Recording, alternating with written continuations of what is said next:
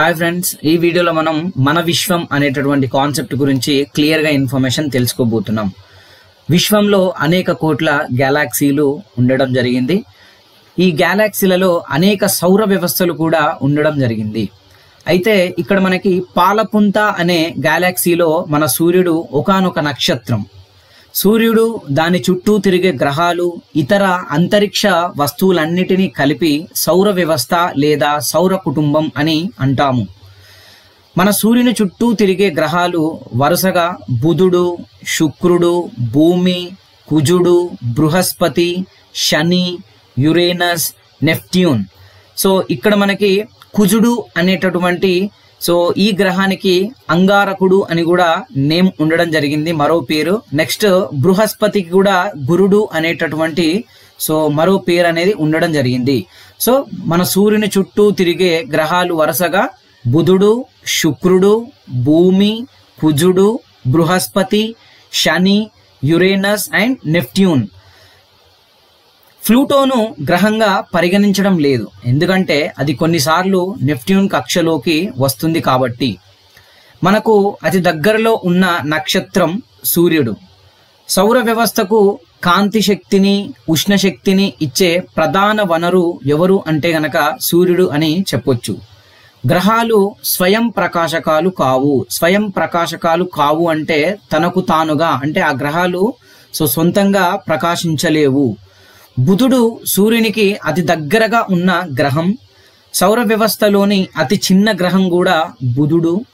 దీనికి ఉపగ్రహాలు లేవు. అతి పెద్ద గృ అతి పెద్ద గ్రహం బృహస్పతి. గ్రహాలన్నిటిలోకి భూమికి దగ్గరగా ఉన్నది శుక్రుడు. ఇది గ్రహాలన్నిటిలోకి ప్రకాశవంతమైంది.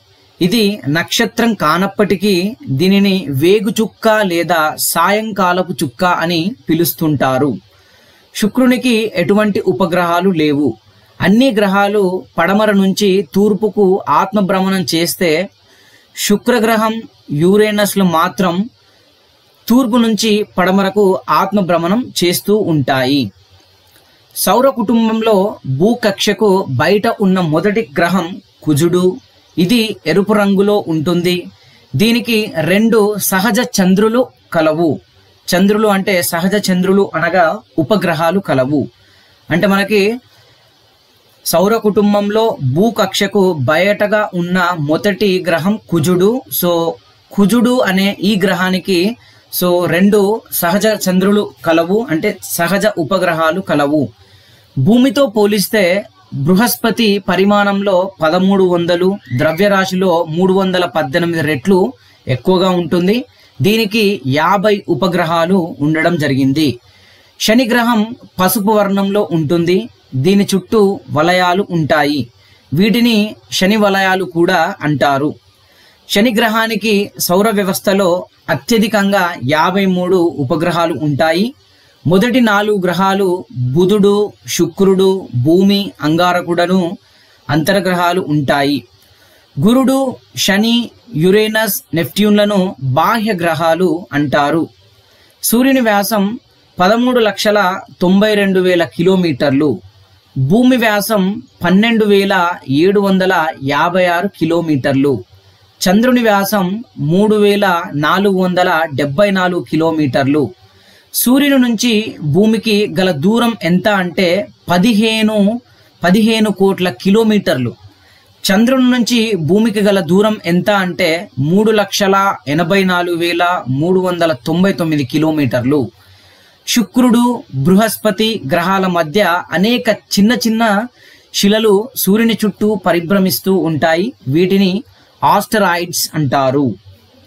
కాంతివంతమైన తల చీపురు కట్ట లాంటి తోక కలిగిన వస్తువులు సూర్యుని చుట్టూ పరిభ్రమిస్తూ ఉంటాయి. వీటిని తోక చుక్కలని అంటారు. హేలీ అనే తోకచుక్క డెబ్బై ఆరు సంవత్సరాలకు ఒకసారి కనిపిస్తుంది. అంతరిక్షం నుంచి శిలలు భూ వాతావరణంలోకి ప్రవేశించినప్పుడు మండి మండి కదులుతున్న చుక్కలలాగా కనిపిస్తాయి. అంతరిక్షం నుంచి శిలలు భూ వాతావరణంలోకి ప్రవేశించినప్పుడు మండి కదులుతున్న మండి కదులుతున్న చుక్కలలాగా కనిపిస్తాయి. వీటిని ఉల్కలు అంటారు. సూర్యుడు సూర్యుని కాంతి భూమిని చేరడానికి పట్టే సమయం ఎనిమిది నిమిషాల ఇరవై సెకండ్లు అంటే దాదాపుగా ఐదు వందల సెకండ్లు. కాంతి చంద్రుని నుంచి భూమికి చేరడానికి పట్టే సమయం ఒకటి పాయింట్ మూడు సెకండ్లు. సో ఇలా మనకి మన విశ్వం అనేటటువంటి కాన్సెప్ట్ నుండి చాలా ఇన్ఫర్మేషన్ అనేది మనం డిస్కస్ చేసాము సో రిమైనింగ్ మళ్ళీ మనకు మిగతా కాన్సెప్ట్లు అంటే మిగతా కాన్సెప్ట్ల నుండి కూడా మనకి ఇన్ఫర్మేషన్ కావాలి అని మీరు అనుకుంటే కనుక ఖచ్చితంగా నా యూట్యూబ్ ఛానల్ని సబ్స్క్రైబ్ చేయండి లైక్ చేయండి కామెంట్ చేయండి షేర్ చేయండి. Thank you so much